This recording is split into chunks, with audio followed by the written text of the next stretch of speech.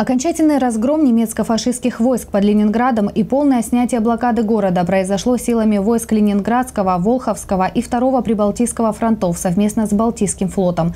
20 января советские войска освободили Новгород, затем Пушкин, Красногвардейск, более 700 населенных пунктов и Октябрьскую железную дорогу, связывающую Москву с Ленинградом. 27 января 1944 года в Ленинграде был дан артиллерийский салют из 24 залпов и первый в Советском Союзе фейерверк фейерверк, разрешенный Сталином вне Москвы.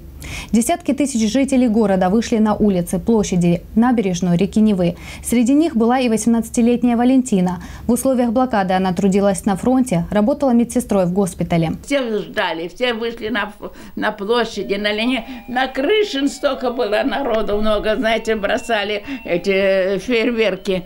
Ну, радость, прямо целовались друг с другом, понимаете, в объятия. Знать не знаем, а все целовались. Ну, ленинградцев-то мало осталось, понимаете, они все погибли.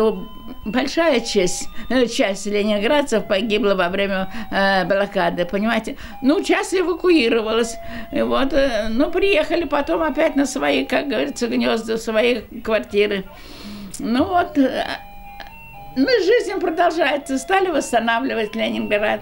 27 января для Валентины Васильевны важно вдвойне. В этот день она отмечает и день рождения своего супруга. С Иваном Максимовичем они живут уже 62 года.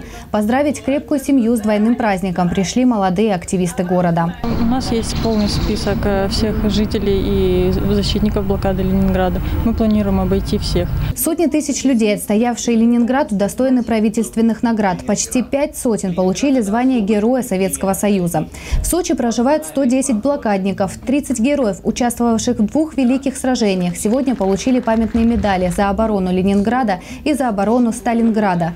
Награду в честь празднования 70-летия Победы вручил первый заместитель главы Хостинского района. Мы благодарны всем ветеранам Великой Отечественной войны, которые сумели отстоять и которые сегодня являются нашими основными помощниками в воспитании молодого поколения наших хостинцев.